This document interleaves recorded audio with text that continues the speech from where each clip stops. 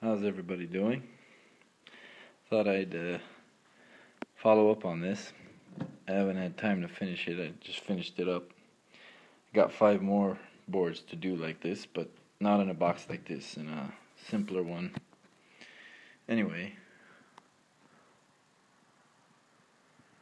these I still have to do the uh, plate nameplates or engraved. Uh,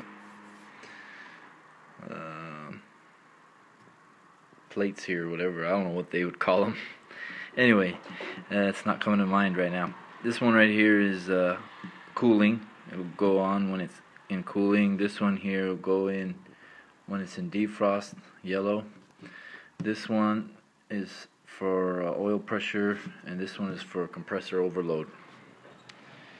And this is our digital thermostat, and this is what turns the system on and off. This is an Eliwell, um, an Eliwell uh, 974 digital thermostat.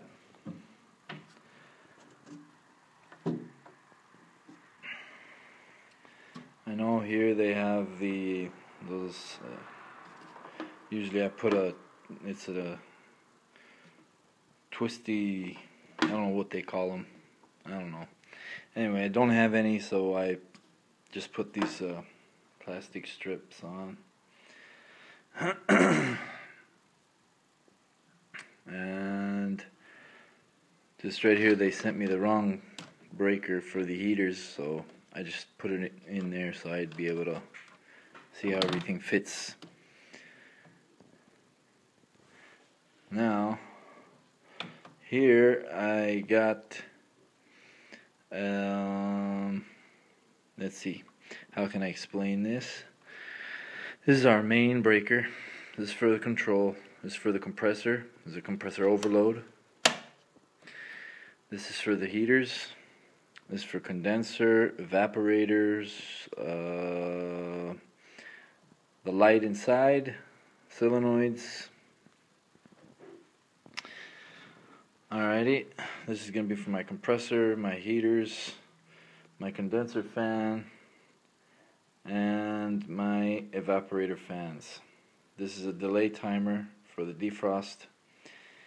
This here is my cooling solenoid and uh, cooling relay for the solenoid. This is my for my hot gas. this is for the door. Now, uh, why I have a delay for the heaters is because when it goes into hot gas defrost, you have uh, first the first um, uh, a few minutes will be actually a good hot gas defrost. After a few minutes, the hot gas will be only warm, and you won't really get anything out of it. So it's just it's more or less a useless defrost after a few minutes. but what I usually do is I have hot gas plus heating elements. That's the way I do it. But at this particular factory, they do not have enough electricity, not enough juice for all their walk-ins and the shock freezer with the compressor and the heaters that I have in the evaporator coil.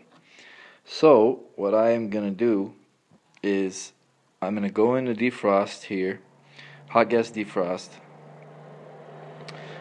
and the delay timer right here will count about 7 minutes. After 7 minutes, my hot gas defrost will shut off and it'll give electricity to the uh, heater coil the to the contactor here for the heaters.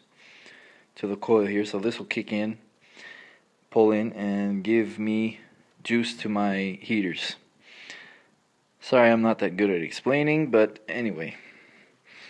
Uh, I do most of these small boards just by I just uh, wire them up just from as I go I do not have a, a map or a diagram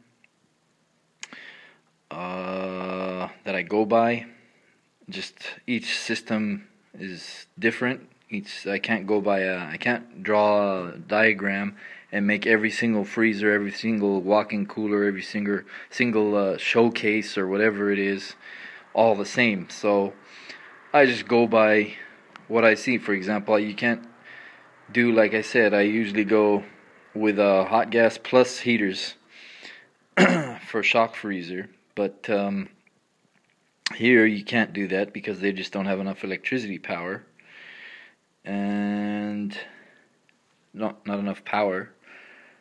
Um, what else can I explain here? Um, when they open the door, you have the little micro switch uh, on the door. When it opens, it'll shut the fan, the evaporator fans off and the cooling solenoid off. So it'll pump down, shut the unit off. Of course, the fans will go off right away when they open the door, and the light will go on, and this light will go on. Because sometimes at that particular place, the the employees they'll just kind of throw the door, and it won't shut completely. It'll be almost shut, but it won't be shut, and nobody will really go back and make sure. So I have this light. I was gonna put a a nice little noisy siren, a buzzer or something, but. Uh, the workers begged me not to do that, so I so I just put the light here. Uh, let's see, what else can I explain? Um, let's see. Oh yeah, I see a lot of hot gas when they go in a hot gas defrost. A lot of systems, even though the cooling solenoid shuts off. So in other words, you won't get any more flow through the condenser coil, even though a lot of them just the fans will stay on. Just as long as the compressor's on, the fans will stay on. I do not like that. It's just my the way I like it, the way I do things. I like to see when it goes into defrost, I don't like any fans on outside. So, uh, this is the hot gas solenoid uh, relay. I have my fan, this is the wire that will go to the um, to the uh, to the condenser fan re uh, contactor. I have it going through a normally closed connection. So while it's off, it has a continuous connection to the condenser fans. So this contactor will be able to kick in. Now when it goes in a hot gas defrost, this normally closed will become normally open and it'll cut it off from the condenser fan contactor. As everybody can see, I probably wouldn't be a good instructor or anything because I am horrible at, at explain, explaining things. I'm a little uh, tired here, guys, so bear with me. And um, I'm actually doing this in my home, so I decided to relax and do it at home. And I have five more to go, and want to get into uh, too much of an argument with the wife, so I got to finish these up pretty quickly. and um, what else do I should I explain? I have all my connections usually come through the bottom of the box through and I tie them tie each one here and the the wires will go into these I have I'll have uh, little they have little white plastic uh, tags like this for each one and I'll have it written down what each one is and what's that screwdriver and that's about it, guys. Um,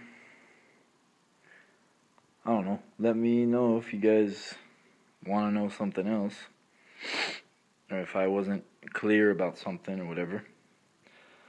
Like I said, bear with me, guys. I'm a little tired and uh, I got a little bit of a cold, so I explained it as as good as I could. Have a good day. and thanks for watching.